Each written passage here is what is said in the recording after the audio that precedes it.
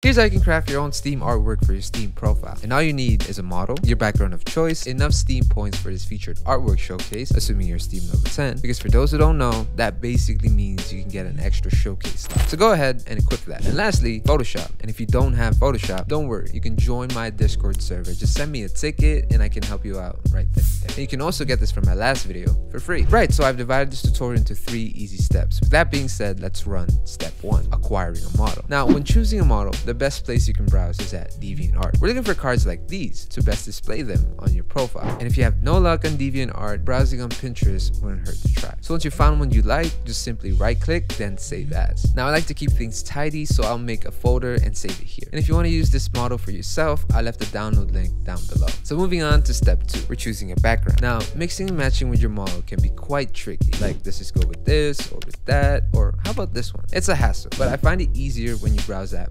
backgrounds gallery. It's an ocean full of backgrounds, but side note, some of these backgrounds require game ownership. So let's say this, right? You'll be greeted with options like buy with points or buy on Steam, and sometimes the background costs more than buying the game itself. So that's up to you to decide. But yeah, if you found one you like, be sure to click crop this background. Then in here, just click download zip on the top left. Then just extract it. Or if you already got one from the Steam Point Shop and it's already equipped, head to the browser version of Steam. In your profile, right click on your background and click inspect. We're looking for this URL. Then just click this link and it should redirect you here. Then just copy the link up top and head to steam.design. Paste it here, then just click download zip. Then just extract it. Okay, now that we got the model and the background, it's time to combine them by running Photoshop. Again, if you don't have Photoshop, you can join my Discord server, invite links down below the like button. And I'm gonna keep it chill, so for those who don't have experience with Photoshop before, can follow along. So first things first, let's make the model's background transparent. So press Ctrl plus O, then look for the model you downloaded from earlier, then just double click it. Now before anything, click this padlock button on the right so we can edit it. On the left toolbar, we're going to use the fourth icon, which is the quick selection tool, and click select subject. It should have your model selected with these lines. Now just press Ctrl plus J,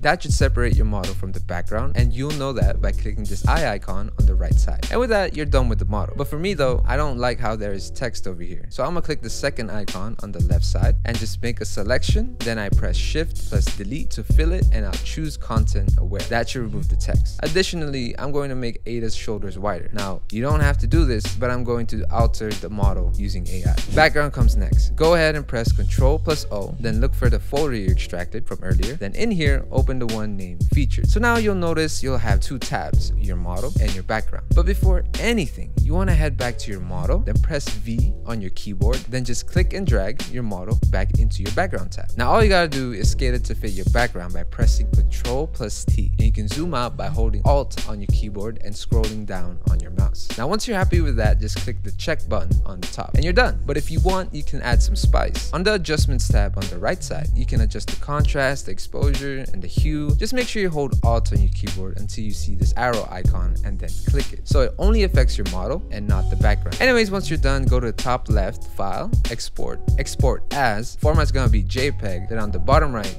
just export it. Uploading is the easy part. Head to the browser version of Steam. In your profile, hit Artwork, then in here, click Upload Artwork. Now it's gonna ask which game this is, but go ahead and click not game specific. In here, give your artwork a title, then just choose the file you exported. And by a description, don't forget to give the artist that made this model credit, and then click I certify that I created this artwork. But before you click that shiny save and continue, you want to paste in this code so your artwork won't look like this.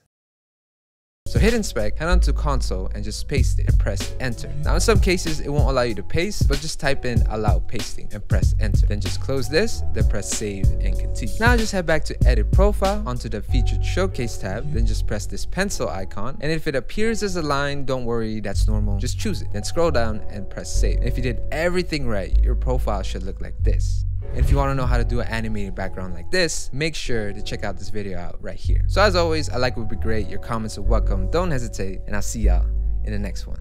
Peace out.